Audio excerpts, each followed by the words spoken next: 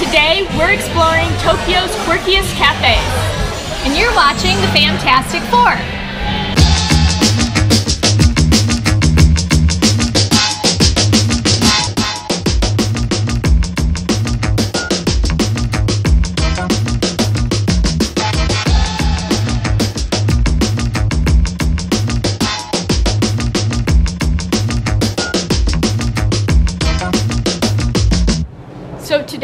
Go visit some of Tokyo's unique cafes. Um, the first one we're going to is called Alice in a Magical Land. It's Alice in Wonderland themed, but they probably couldn't use the name, so they called it Alice in a Magical Land. Um, and so that's the first one. Then we're gonna take a train from there over to Shibuya and try something called the Kawaii Monster Cafe. And kawaii means cute in the Japanese language, and it's very it's like a part of Japanese culture that's very cutesy. It's like anime and manga, like that sort of Japanese culture. So we're gonna go try out that second, and we're off to the Alice Cafe now. So let's go check it out.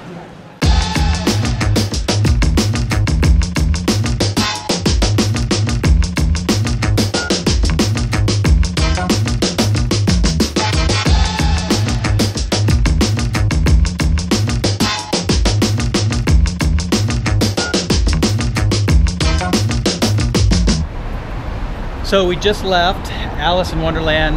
Um, actually, it's called Alice in a Magical Land restaurant. And what was your impression? Um, it was interesting for sure. Um, they played a lot of Disney music. The whole, I, I felt like it was something you kind of might see at Disney. Like the whole room was themed. Um, Alice in Wonderland, there was like a card standing up. Um, like one of the card soldiers, you know. Um, all the chairs were like in fun colors and different. There were Alice in Wonderland murals. Um, what else? How about the waitresses and Oh yeah, all the waitresses were dressed up. Um, there were two Alices. There was the Cheshire Cat, the White Rabbit, and Queen of Hearts. the Queen of Hearts. Yeah, I think that was all. They were dressed up as really cutesy version of versions of the characters, which was kind of fun. Um, It wasn't too fun because Autumn and Eden did not get a picture with them, but mom and adults. dad did. So I don't know what the deal with that was, but it seemed like the adults were a little more excited about Alice's restaurant than uh, the kiddos. But all in all, it was good. It Yeah, it was was it was good to see. And so where are we going now? now we are headed to something called the Monster Cafe, which is like a kawaii style uh, cafe, I guess. And the food there is supposed to be like really bad. Like apparently people have left in the middle of their meal to go eat somewhere else. But the dessert is supposed to be decent. So and we're the decor. and the decor. So we're going there for the dessert and the decor.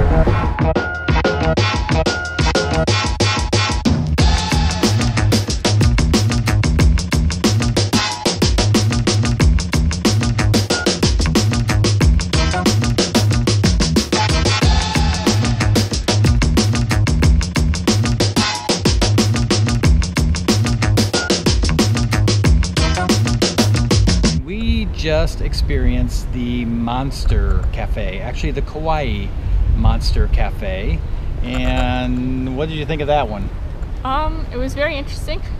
Um, you go in there and it's a lot of noise and colors and sensory overload all at once. Um, there's four different sections you can be seated in, and I don't remember the names of the sections, but there's one where there's like you can sit in like teacups.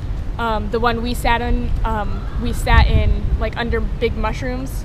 Um, there's a section where there's like baby bottles up ahead, Yeah. like with milk, fake milk dripping down. Um, and then there's a section, another section where it's like all lips and um, like red, like Valentine almost. Um, yeah, it was a lot. Yeah, and then like out of nowhere, like stuff goes crazy and lights go crazy and alarms go off and they have this mini carousel type thing that starts spinning and the four kawaii monsters get on and start singing a song.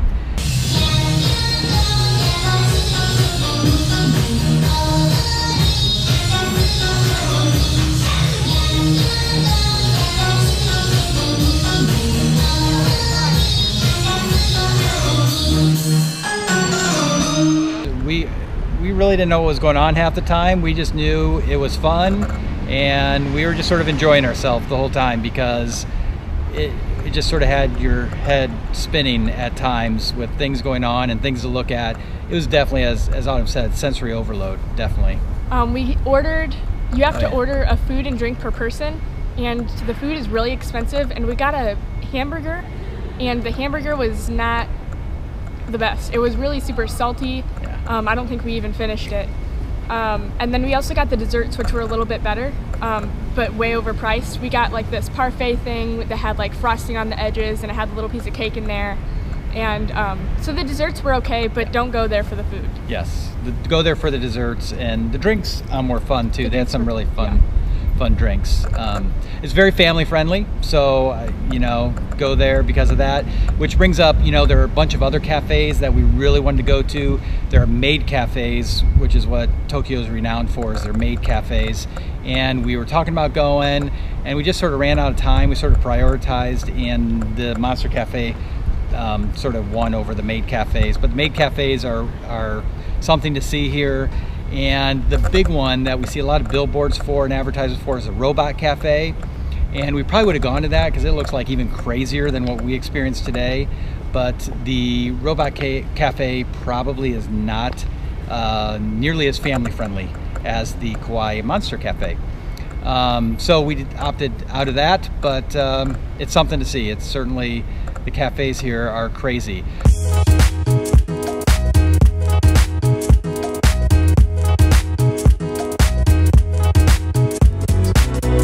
Just spent the last half hour in a cat cafe, and I wasn't too sure if I would like it, but it ended up being a great time, and I know Eden liked it. So why don't you tell people what the cat cafe was like inside? Well, there's these two rooms. One was kind of like a backyard in a castle because there was like a well a place where you could sit down and see the cats eat. At the end, we did, and see the cats play with other people and stuff. And then there was this other little part, like tiny part, where there was a fake tree and some grass. Not real grass though. It was really cool. And then the other room with lots of cats. They kept moving back and forth. We had to go back and forth. And then it was just really crazy and fun. It was a lot of fun, and they did have two beautiful rooms.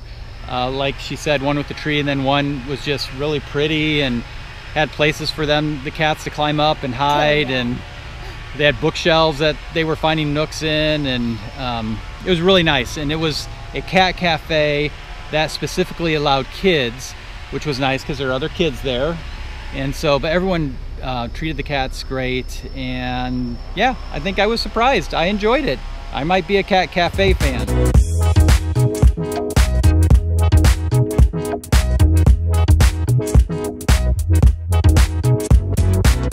We just got out of the Owl Cafe and it was amazing. I didn't really know what to expect, but it was really small and was really intimate and they really let us they let us pet all of the owls and we could hold almost all of the owls and it was just it was really really cool. I'm so glad we did it.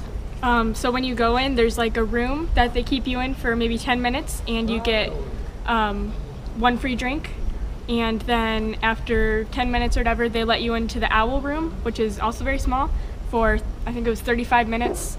Um, and you get to pet, and you can also feed the owls, which is something we didn't do, but it's not something you really need to do because you get to interact with owls a lot without feeding them, anyways. Um, and that costs extra, so it really wasn't worth it. Um, but yeah, it was overall a really good experience. Um, were, the owls were so soft, and we got to hold a lot of them. They were big ones, little ones. Um, yeah, it was really cool. And I know some people, um, like animal rights people, might be concerned because the owls, you know, they're nocturnal animals and it was during the day when we were seeing them. But I'll tell you, everyone there was so gentle and so kind with the owls and really respectful of them. So we just felt like it was a really good environment and really good space for what we saw. So it was really, really cool. Um, yeah, so that was our last quirky cafe in Japan. Um, we didn't get to see them all because there are so many. I know there's, I think, a lizard one, there's a snake cafe, um, an otter cafe, hedgehog cafe, and those are just only that's like just scraping the surface. There are so many more. Um, the ones we did get to visit while we were here are super cool. Um, we went to a Hello Kitty one in Himeji also. Um, that was pretty interesting. Yeah, Um, just, that's what we'll just leave it there. We'll just leave it, was there. It was interesting. Um, but yeah, that's been our Quirky Cafe experience. So if you have ever been to a Quirky Cafe, let us know in the comments. And as always, if you um, could give us a thumbs up, we'd really love that. And if you haven't subscribed, we'd love to have you subscribe because we have a whole lot more videos coming your way. Thanks for watching. Bye.